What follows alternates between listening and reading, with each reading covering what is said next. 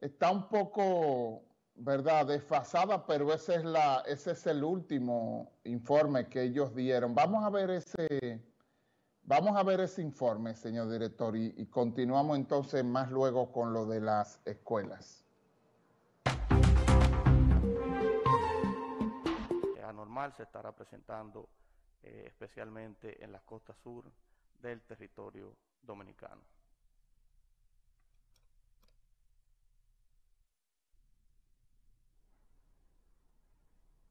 Gracias, ingeniero. Después de lo expuesto por el ingeniero Emanuel Álvarez de la Oficina Nacional de Meteorología, el Centro de Operaciones de Emergencia emite una alerta amarilla por condiciones de tormenta tropical desde Punta Palenque en San Cristóbal hasta la isla Sabona en La Romana y desde la isla Sabona hasta Cabo, Cabo Francés Viejo. Además mantiene una alerta verde por condiciones de tormenta tropical desde Cabo Francés Viejo hasta la bahía de Manzanillo en la frontera con Haití por lo que a partir de ahora regirá también el siguiente nivel de alerta en estas provincias. Amarilla, La Altagracia, La Romana, San Pedro de Macorís, El Ceibo, María Trinidad Sánchez y Samaná.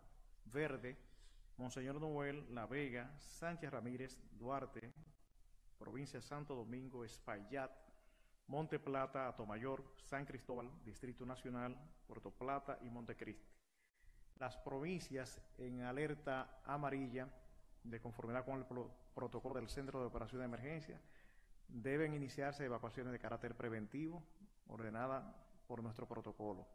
Defensa Civil, con el auxilio, el concurso de Fuerza Armada, Policía y otras entidades más, deben producir esas evacuaciones de carácter preventivo. Al igual que también le pedimos a la población darle un estricto seguimiento minuto a minuto al desarrollo y evolución de este evento a pesar de que todavía eh, el centro de huracanes de Miami, la NOAA, no lo ha dado como tormenta tropical, nosotros como centro de operaciones de emergencia estamos tomando las previsiones como si lo fuese. Hay que recordar que este evento podría traer ráfagas de viento, marejadas y lluvias, como lo ha, eh, lo ha señalado Manuel Álvarez de la Oficina Nacional de Meteorología, por lo que le pedimos a la población no descuidarse, acceder a nuestra aplicación Alerta COE a, través de los teléfonos inteligentes Android y iOS. Si ya lo tiene, puede recibir los niveles de alerta que ha emitido el centro de operaciones. Si no, la pueden descargar. También pueden accesar al teléfono 809-472-0909, que es el teléfono del centro de operaciones de emergencia. Y por último, y si es necesario, pueden también contactarnos a través del 809 773 4447 es mi celular pero solamente para un tema que sea extremo.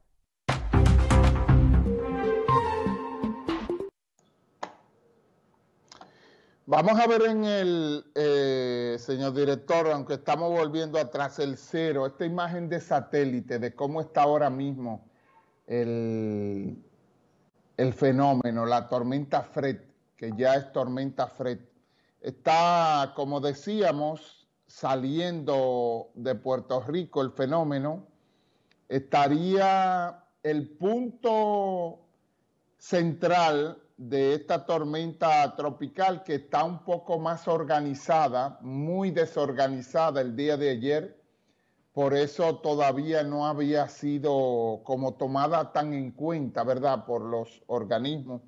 Sin embargo, en aguas del Atlántico y ahora en el Caribe, eh, el día de ayer eh, se ha organizado bastante y se encuentra en, en estos momentos, como decíamos, saliendo ya de la parte sureste de Puerto Rico y alrededor de las 2 de la tarde es que estará el ojo de esta tormenta sobre la República Dominicana. La parte más impactada, según la trayectoria, es la parte este del país.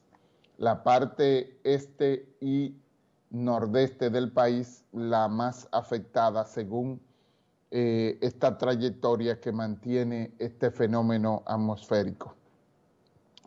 Vamos a continuar, señor director, con el caso de las escuelas. Entrevistamos al presidente del ADP, el maestro Sisto Gavín, que dice que a tres semanas de comenzar las clases todavía continúan la mayoría de las escuelas sin ser intervenidas y que él duda que se logre iniciar el año escolar presencial por, por el deterioro de las plantas físicas y por el poco tiempo que falta para esto.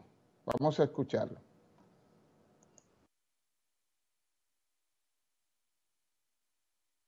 Presencial, por lo menos aquí en la provincia de. Bueno, el Ministerio de Educación y el propio presidente de la República anunciaron modalidad presencial únicamente a partir del inicio del año escolar 2021-2022 en el mes de septiembre. Sin embargo, ese deseo dista mucho de la realidad. Desde el punto de vista, primero, de la evolución de la pandemia, veremos cómo está la, la situación a partir de la variante Delta y de otras variantes, así como también y sobre todo las condiciones de los centros educativos. Con la responsabilidad que nos caracteriza, podemos establecer que en esta seccional de San Francisco de Macorís no ha sido intervenida una sola escuela de las que tienen eh, reales condiciones muy deplorables por parte del Ministerio de Educación. Centros educativos con planta física destartaladas, con filtraciones, con problemas en el agua potable, falta personal administrativo como secretarias, conserjes, guardianes, serenos, escuelas amaneciendo sola sin que eh, eh, pues haya un sereno. Además del personal docente que ya con el concurso esperamos se resuelva esta parte. Pero dudamos mucho que la modalidad pueda ser únicamente eh, presencial y por lo tanto consideramos que fue un anuncio de parte de las autoridades a destiempo porque el ministerio no aprovechó el año de la no presencialidad en los centros educativos en el país por la pandemia para crear las condiciones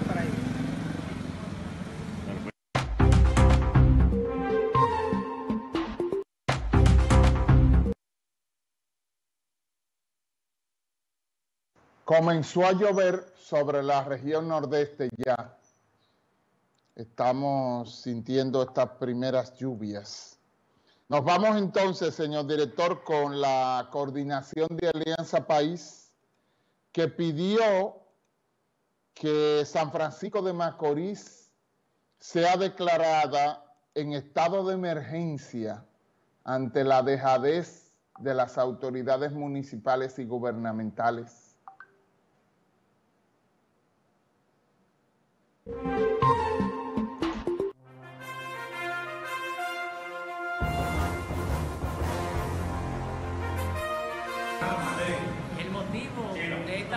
Prensa es declarar a San Francisco de Macorís estado de emergencia por múltiples eh, razones. El síndico y los regidores no han dado pie con bola. Eh, tenemos un problema grave de la basura, no solamente porque no la recogen, sino porque cuando la recogen lo que hacen es contaminar la ciudad. Tenemos un problema en el transporte, es un caos, entrar a San Francisco es un caos. O sea, si tú vienes de, de Nagua, el, el tapón comienza en la universidad. Si tú vienes de Santo Domingo, el, el tapón comienza en la última bomba. No hay seguridad, no hay nada que te, que te dé tranquilidad en este pueblo. Por eso, como profesional de la salud, la definición de la salud, yo entiendo que en San Francisco no hay un solo sano. Aquí todo el mundo, porque la, definición de salud es que tú te encuentres físicamente y mentalmente bien. Y aquí mentalmente yo creo que no estamos bien. O sea que es un país enfermo, es un, es un municipio enfermo. Por eso le pedimos al presidente de la República que venga a intervenir en este municipio, porque lo necesitamos. ¿Cuál es su nombre? Mi nombre eh, es John Antonio, dicen John Antonio.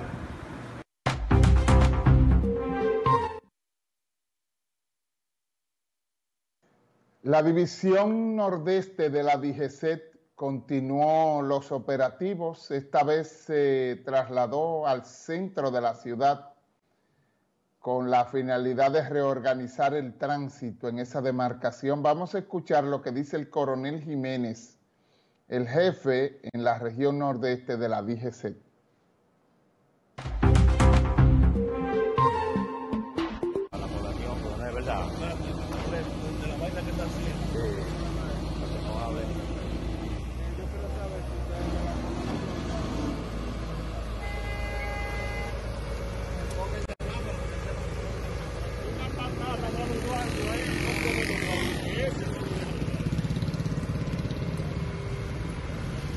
Ese ciudadano? Bueno, ese es el caso por la cual los AME tiene que hacer el trabajo. Porque si una patana va a doblar ahí, ese vehículo obstaculiza el tránsito libre de una patana o cualquier vehículo. Aquí en Macorís. Las infracciones del tránsito. Adelante. Buenos días, en nombre de la Policía Nacional, en el mío propio, a toda la ciudadanía de San Francisco Macorís. Nosotros estamos haciendo un trabajo de organización del tránsito. La ley está ahí, estaciona debajo de un semáforo, es lo que decía el señor que estaba ahí hablando. Nosotros a veces viene una patana a doblar, no puede girar por el tema de que los vehículos se estacionan ahí. Eso está pintado de amarillo. El que saca una licencia sabe que donde la acera está pintada de amarillo no puede estacionar. Nosotros vamos a trabajar con lo que son los vehículos que también, las motocicletas que suben encima de los parques, encima de la acera, que la gente no puede transitar. Por eso aparecen a veces muchos atropellos transitar libremente por las aceras. Las aceras hay que respetarlas porque eso es para el. Los lugares donde hay eh, eh, motocicletas parqueadas encima de la acera, nosotros vamos a recoger todas. Y hacemos un llamado a la ciudadanía que no estacionen motocicletas encima de la acera.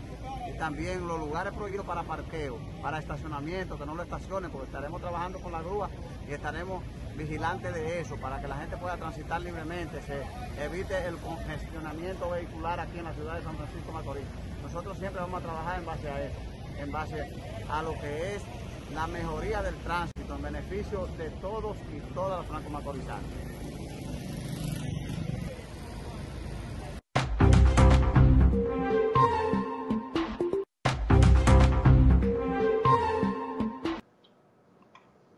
Yo quiero felicitar al coronel Jiménez porque está haciendo un gran trabajo, sin lugar a dudas. Lo que me gustaría es que él coordinara con el ayuntamiento los lugares que deben de ser señalizados donde usted no se debe parquear con la pintura amarilla en el contén. Tienen que estar señalizados donde usted no se puede parquear. Tiene que coordinar el coronel con eh, obras públicas del ayuntamiento para que esto se haga. Miren, nosotros hablamos de este caso aquí antes de ayer, de este muchacho que había sido apresado eh, por una riña cerca de un punto de drogas ahí en Los Chiripos, pero que él tenía que ser eh, enjuiciado por este caso de violencia de género. Vamos a ver, señor director, este post de Wilton, Wilton Antonio Hidalgo, acusado de agredir a su expareja Lucidania y de provocarle un aborto en el sector Los Chiripos. Según informaciones extraoficiales que nosotros ya habíamos dicho aquí antes de ayer, este joven golpeaba de forma continua a su expareja, agresiones que quedaron grabadas en un video. El ministerio de, la mujer y la fiscalía tienen esas, eh, desde hace tiempo, esa denuncia y esos videos. Vamos a escuchar lo que dice él y lo que dice Lucidania, su expareja.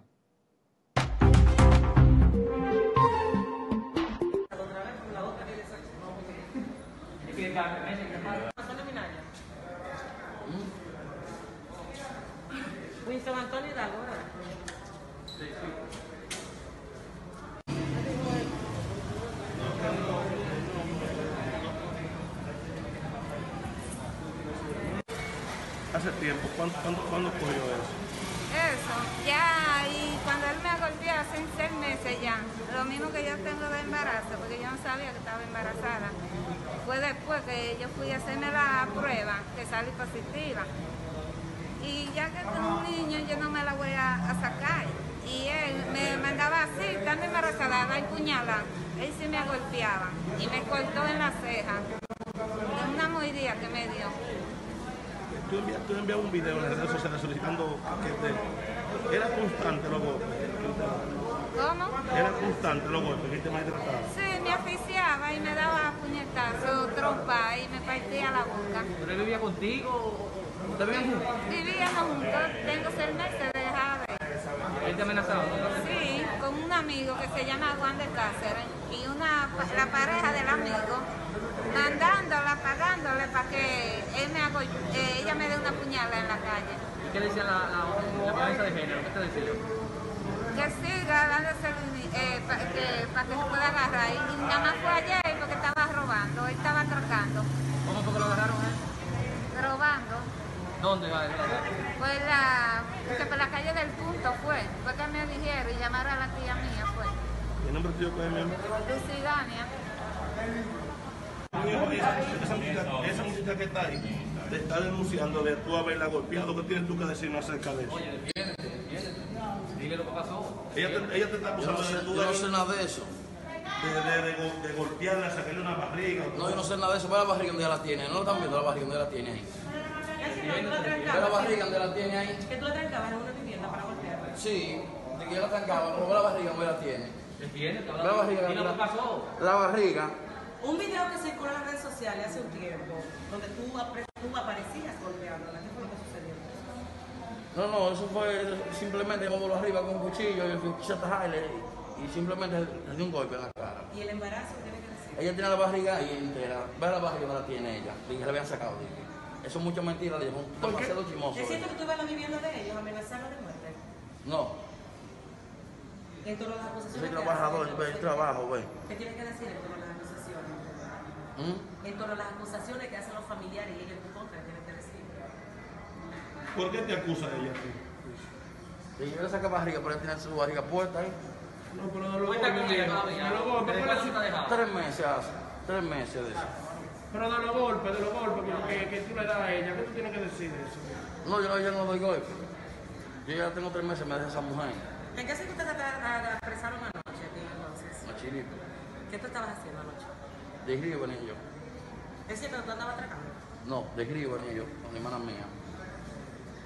¿Cuál es el nombre tuyo? Winton, Winton. Antonio.